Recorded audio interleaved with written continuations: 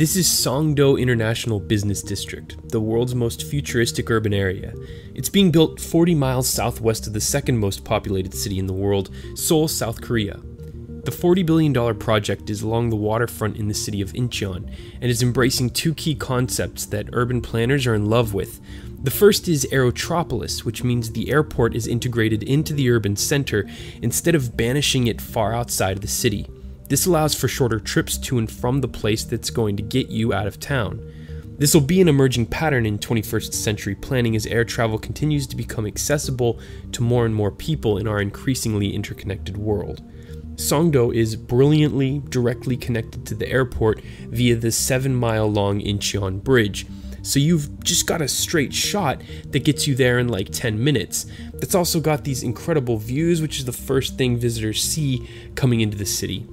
The other key theme is ubiquitous city, which is a uniquely Korean concept where every device, component, service is linked to an informational network through wireless computing technology, allowing for greater coordination and a more efficient and synchronized city than has ever been possible before.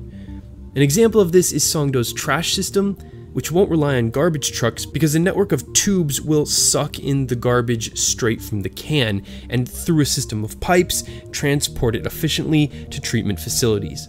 Songdo's so dedicated to being a model for sustainability that it's set aside 40% of its land area to be outdoor spaces like parks, and it'll become the first city in the world outside of the United States to achieve LEED certification, which is the highest energy consumption and waste standards possible with currently available technology. As a tip of the hat to other great cities, Songdo will also incorporate replicas of New York's Central Park and Venice's historic canals. Overall, construction is currently half done.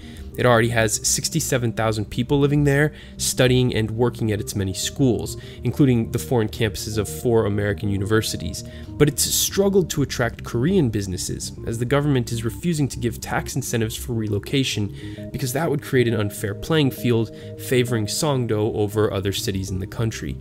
Still, if it stays squarely focused on the future, Songdo is a long term investment that's likely to pay off.